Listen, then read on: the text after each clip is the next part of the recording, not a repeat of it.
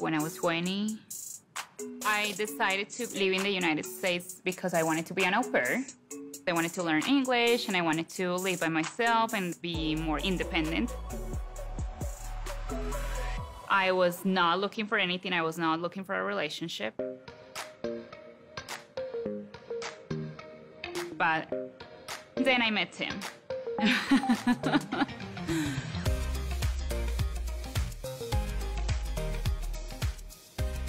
I don't have a type, but white boys was not something that I was looking for necessarily. My friend, who was also his friend, we went out to a bar.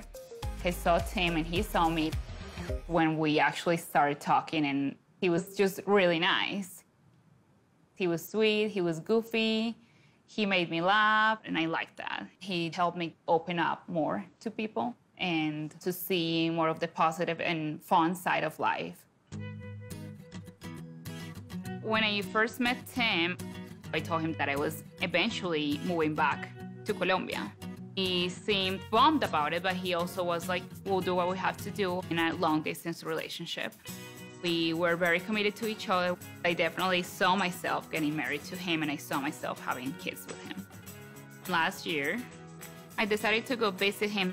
The initial plan was that I was going to stay with him for six months so we could like actually get the experience of living together and then transition into getting married.